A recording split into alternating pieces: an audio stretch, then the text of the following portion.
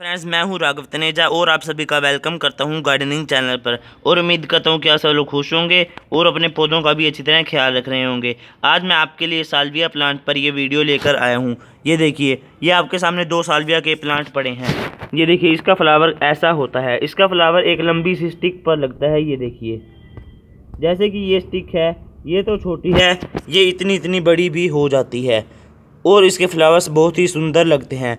और इसके फ्लावर्स जल्दी झड़ते भी नहीं हैं। मतलब कि बहुत दिनों तक इसके फ्लावर्स टिके रहते हैं। एक दो महीने तक इसके फ्लावर्स टिके रहते हैं। और इसी ये ये भी सालविया का प्लांट है। ये डबल कलर वाला है, जिसमें एक फ्लावर में दो कलर होते हैं।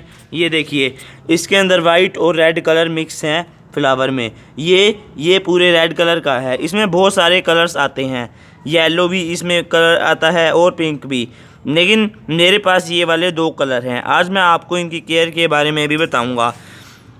ये वैसे तो विंटर के प्लांट हैं, लेकिन अगर इनकी केयर की जाए और गर्मियों में इन्हें धूप में ना रखा जाए और छाया में रखा जाए तो पॉसिबल है कि ये गर्मी में सरवाइव कर जाएँ और अगले साल फिर ठंड में ग्रोथ करें। नहीं तो वैसे तो इन्हें गर्मी में बचाना बहुत ही मुश्किल होता है।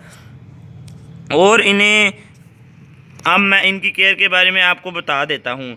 इनकी केयर में पहले तो मैं आपको इनकी वाटरिंग के बारे में बता देता हूँ कि इन्हें कितना पानी पसंद है। इन्हें मिट्टी में ज़्यादा पानी पसंद है। मतलब कि आप इसकी मिट्टी को सूखने न दें और उसमें हमेशा मॉइस्चर बनाए रखें। ये देखिए, मैं इसकी मिट्टी में मॉइस्चर बनाए रखता हूँ। अगर आप इसकी मिट्टी में नमी बनाए रखते हैं तो ये बहुत ही अच्छी तरह ग्रोथ करेगा। ये देखिए ये कितनी अच्छी तरह ग्रोथ कर रहा है और ये भी कितनी अच्छी तरह ग्रोथ कर रहा है। इसलिए ध्यान रखें कि इनकी मिट्टी को कभी भी सूखने न दें और ओवर वाटरिंग भी न करें। और इनके पोट के नीचे आप ड्रेनेज होल बना सकते हैं। मतलब कि अगर आपसे ओवर वाटरिंग हो जाती है तो पोट के नीचे जो जो होल होगा, उसे एक्स्ट्रा वाटर नीचे निकल जाएगा और जितना पानी इन्हें चाहिए होगा, वो पोट में ही रह जाएगा। और अब मैं इनकी सनलाइट के बारे में आपको बता देता हूँ। इन्हें फुल सनलाइट पसंद है। मतलब कि इन्हें दिन में कम से कम चार पाँच घंटे सूरज की रोशनी ज़रूर चाहिए होती है। तो ये अच्छी तरह ग्रोथ करते हैं। अगर आपने इन्हें ऐसी जगह रखा है जहाँ पर सूरज की रोशनी नहीं आती तो ये अच्छी तरह ग्रोथ नहीं करेंगे। इन्हें ऐसी जगह पसंद है जहाँ पर सूरज की रोशनी आती हो। सूरज की रोशनी में ये बहुत ही अच्छी तरह ग्रोथ करते हैं। और इन पर फूल भी ज़्यादा आते हैं सूरज की रोशनी में रखने से। और इन्हें डिसीज़ भी बहुत ही जल्दी लग जाती हैं। इन्हें बीमारियाँ बहुत ही जल्दी लग जाती हैं। ये देखिए, आपको इसके पत्ते थोड़े मुड़े मुड़े लग रहे होंगे। इन्हें ज़्यादातर मरोड़िया की बीमारी आती है। मतलब कि इनके जो पत्ते होते हैं, ये वाले, ये मुड़ने लग जाते हैं। ये देखिए।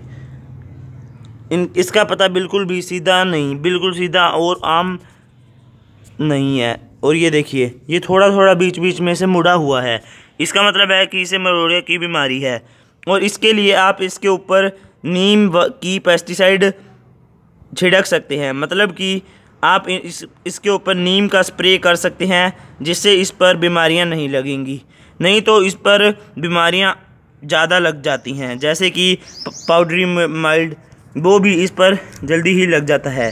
इसलिए आप ध्यान रखें कि इस इस पर आप हर महीने में नीम का पेस्टिसाइड ज़रूर छिड़क दिया करें।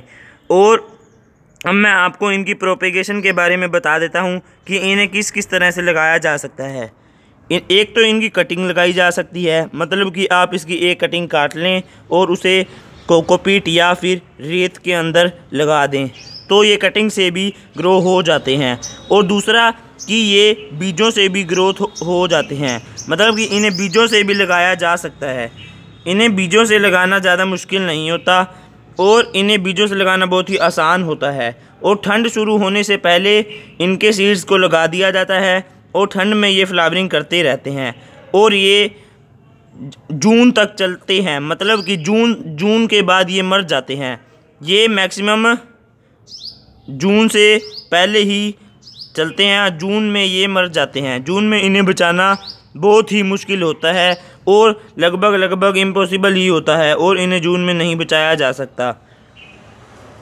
तो दोस्तों, उम्मीद करता हूँ कि आपको इसके बारे में पूरी जानकारी मिल गई होगी कि इसकी केयर कैसे करनी है और इसकी केयर कैसे करनी है और इसे बीमारियों से कैसे बचाना है। तो दोस्तों, अगली वीडियो में मिलेंगे कुछ नई जानकारी के साथ। अब तक के लिए टाटा और बाय बाय अपना और अपने प्लांट्स का अच्छी तरह ख्याल रखते रहिएगा।